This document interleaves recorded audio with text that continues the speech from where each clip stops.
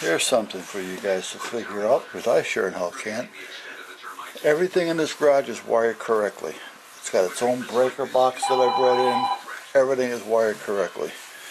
So, I also have 12 volt DC coming off of the solar and the batteries out back. So, this pole is kind of my 12 volt pole.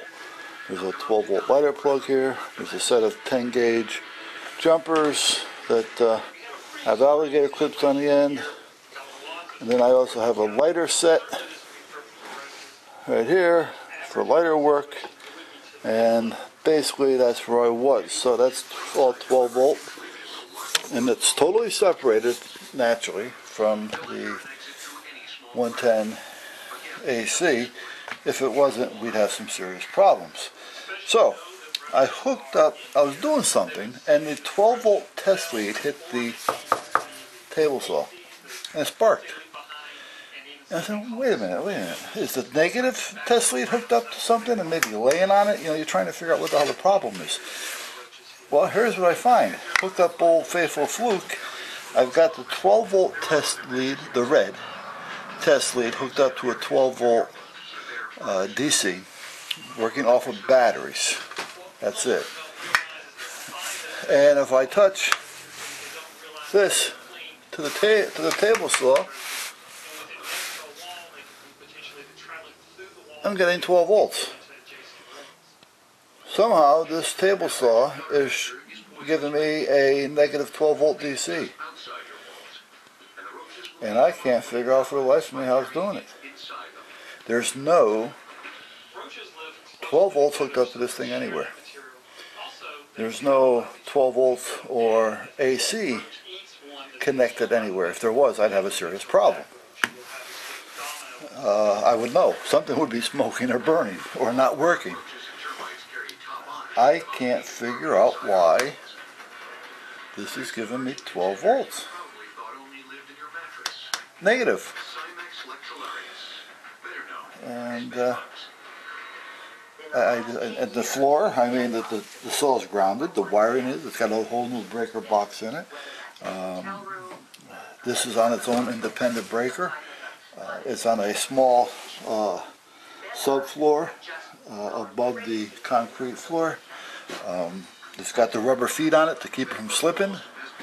Uh, so I don't understand why I'm getting 12 volts on this thing when the only thing it is is it's plugged in to the uh, 110 AC.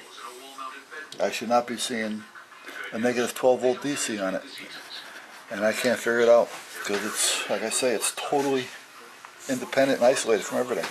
It's plugged into its own circuit. It's not touching anything. It's not even touching that 2x4 just in case we had something going through that 2x4. And if we did, I'd have a problem there because on the 2x4 I've got studs with negative and positive. So we know we're not getting a short there. So I don't understand where this is coming from. Um,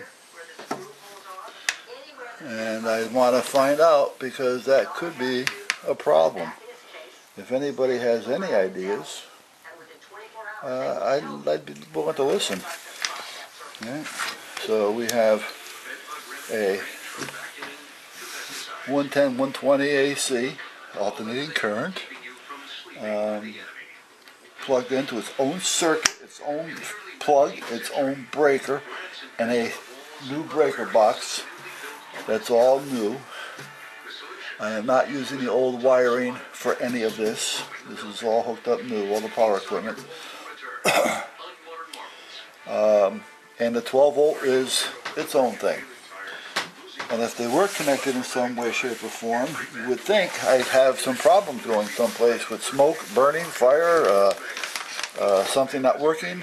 Uh, there'd be an issue, I would think. So we have two completely isolated systems. One being house current, one being 12 volt DC. They're isolated from one another, they're separated from one another, but yet this is showing a 12 volt negative. and I can't figure that out. And that could be a problem eventually. So we gotta see what happens. Anybody have any ideas? I appreciate it.